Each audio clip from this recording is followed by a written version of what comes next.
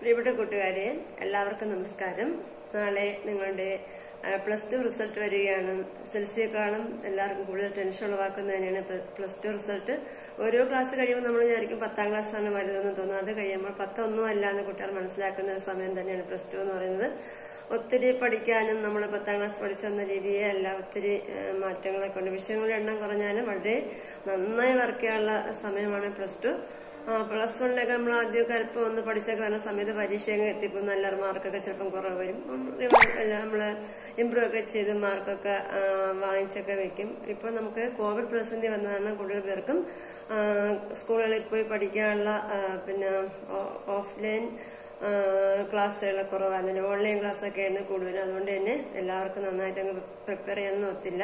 പരീക്ഷയും പെട്ടെന്ന് അങ്ങ് വന്നു കഴിയും. ഇതിനും നിങ്ങൾ പഠിച്ചതൊക്കെ വെച്ച് പരീക്ഷയൊക്കെ എഴുതി ചിലർക്കൊക്കെ ചില വിഷയങ്ങളൊക്കെ അല്പം പൊതുവെ പാടായിരുന്ന വിഷയങ്ങളൊക്കെ ഉണ്ടായിരുന്നു. എല്ലാവർക്കും അതിനെക്കുറിച്ചുള്ള ടെൻഷനാണ് പിന്നെ അതുപോലെ തന്നെ ഫോക്കസ് നോൺ ഫോക്കസ് ഏരിയ തന്നിരുന്നതുകൊണ്ട് തന്നെ നോൺ ഫോക്കസ് ഏരിയയും കൂടെ നന്നായി പഠിച്ചാൽ മാത്രമേ മാർക്ക് കിട്ടുന്ന വിധത്തിലേക്കായിരുന്നു ചോദ്യങ്ങളുടെ ക്രമീകരണം എന്നൊക്കെ നമുക്ക് മനസ്സിലായിട്ടുണ്ട്. എസ് എൽ സി റിസൾട്ടും എ പ്ലസിന്റെ എണ്ണം കുറയാനും അത് തന്നെയായിരുന്നു കാരണം കൂട്ടുകാർക്കൊന്നും പിന്നെ നോൺ ഫോക്കസ് ഏരിയ സ്ട്രിക്റ്റ് ആയിട്ട് പഠിക്കണമെന്നും അറിയത്തില്ലായിരുന്നു. അങ്ങനെയൊക്കെയുള്ള പ്രശ്നമുണ്ടായി അപ്പോൾ എസ് എൽ സി റിസൾട്ട് വന്ന എ പ്ലസിന്റെ എണ്ണം ചിലപ്പോൾ പ്ലസ് ടുവിനെയും ബാധിക്കുമെന്നൊക്കെ എല്ലാവർക്കും ടെൻഷനുണ്ട് ഏതിനും എസ് എൽ സി റിസൾട്ട് വേണ്ടി അത്ര ലിബറൽ ആയിരുന്നില്ല.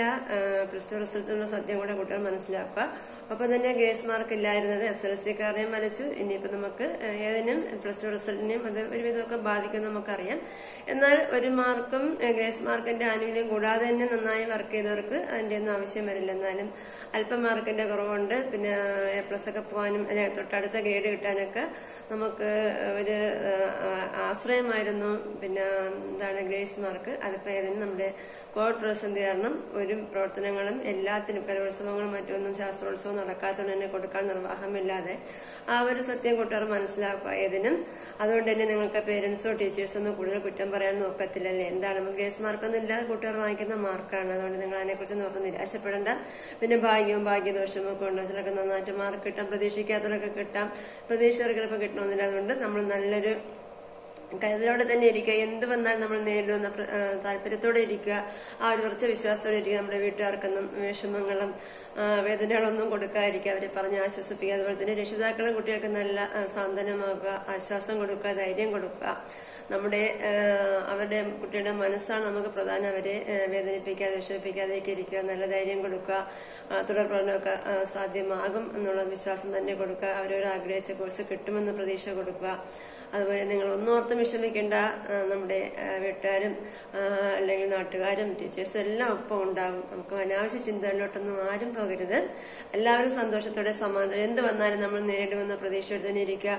അതാണ് നമ്മുടെ ജീവിത പ്രതിസന്ധികളെയൊക്കെ നമ്മൾ മുന്നോട്ട് കൊണ്ടുപോകുന്നതാണ് ഏറ്റവും വലിയ വിജയം. അല്ലാതെ ഒരു മാർക്കോ രണ്ട് മാർക്കോ കുറഞ്ഞു വെച്ച് ജീവിതം മൊത്തം പോയി നിരാശപ്പെട്ട് ആരും ഇരിക്കേണ്ട. നല്ല വിശ്വാസത്തോടെ എല്ലാ കൂട്ടുകാരും ഇരിക്കുക. നമുക്ക് എല്ലാവർക്കും നല്ല റിസൾട്ട് ഉണ്ടായെന്ന് പ്രാർത്ഥനയോടെ ടീച്ചറും പ്രതീക്ഷിക്കും നിങ്ങളുടെ റിസൾട്ട് ഏതിനും നമുക്ക് ദൈവവിശ്വാസത്തോടെ കരുതിയിരിക്കുക. എല്ലാവർക്കും നല്ല വിജയം ഉണ്ടാവുന്നു. ആ,